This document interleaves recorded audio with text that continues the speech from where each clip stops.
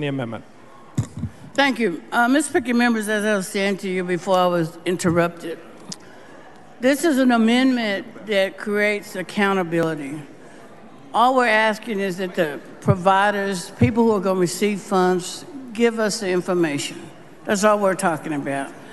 I know everybody is trying to not get engaged. Members, you should be engaged. This is information regarding what's going to happen in your community as it relates to broadband.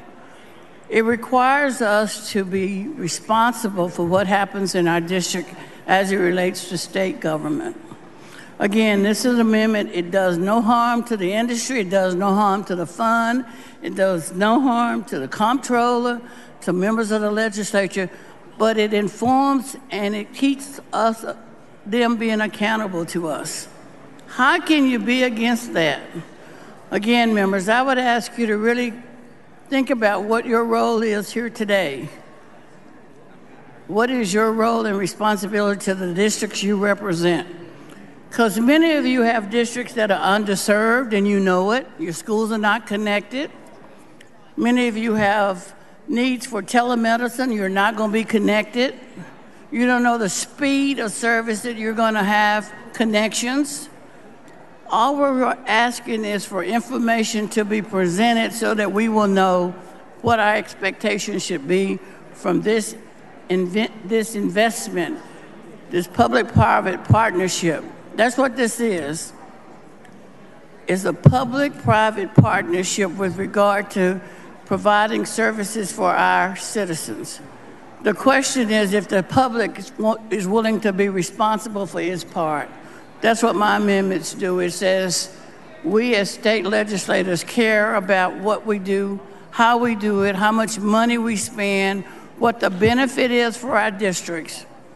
That's what this amendment does, and I would ask you to vote uh, yes for this amendment so you will know what's going on with this investment, this incentive this is an incentive to get companies to do this with us. Don't we want to know whether they're doing it or not? Don't we want to know just that information? Again, I would ask you to really think about what your role and responsibility is here today and encourage you to support this amendment so you will know what's going on. With that, I move adoption. The chair recognizes Representative Ashby to speak in opposition to the amendment. Thank you, Mr. Speaker. Members, uh, the good news here is you're not taking a vote to say no to reporting.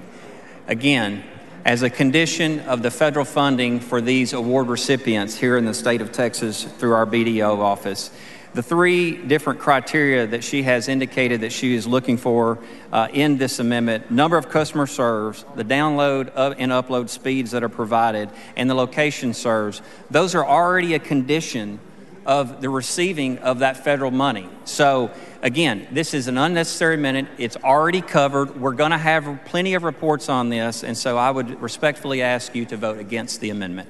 Thank you, Mr. Speaker. Chair recognizes Representative Davis of Dallas to close on the amendment. Again, members, I don't want to spend a lot of time uh, to get a partisan vote. I will tell you that I'm really concerned about public policy.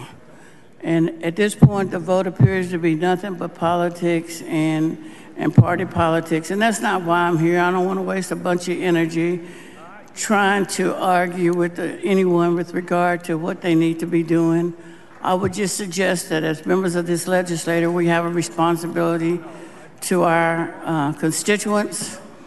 Uh, we all have that responsibility, but the other part is, I will tell you, when we start coming back and asking these questions and you don't have the information, I hope you remember the debate where you had an opportunity to weigh in and say, I want to know. I care about what goes on. I want to be sure I can tell my constituents that we invested in them through this investment. I want you to know that that's what we're here for. And I understand, and I'm hearing all the rattling about, well, we, we got this, they're going to give it to us. I don't know how many of you have served on the committees I've served on where you requested information and you've not received it. I know serving on Ways and Means, many times we ask for this information. And in fact, if you ask them now to give you how many providers they have, you ask the larger vendors, How many, how many people do you provide a service to? How many people are underserved where you are currently working? How many people have a lower service level than you have seen in other areas? If you just ask yourself, ask them that, they'll tell you. They can't tell you that. Then they will tell you, well, we've got a plan for poor people. This is not a plan for poor people. $5 billion, this ought to be a plan to make sure everybody in Texas is connected at an appropriate speed so that they, we can do the business we need to do in this state. And to sell for less would just be ridiculous. And so I'm just suggesting that members listen up. I'm going to ask the questions, and Chairman Ashby said that we can get them. We haven't been able to get them because if so, uh, we, would, we wouldn't be here today. We wouldn't have as many communities not connected because we've had this incentive before. Not at this level, but we've had incentives to connect our communities. We've had situations where funds have been spent to create jobs and we can't find the jobs that they were supposed to create. We've had situations where we've created jobs and they were supposed to be one kind of job and it ended up being a lesser job. Why are we afraid to require them to report what they actually do? So I would just, I would just encourage you. I mean, I, I get personalities in this chamber is about personalities. I get party politics is about following the leader. You can't lead, you got to follow. I get all that. But the one thing I don't understand is why we don't want to do public policy. This is a simple public policy issue, informing you as members of what's going on with this amount of money.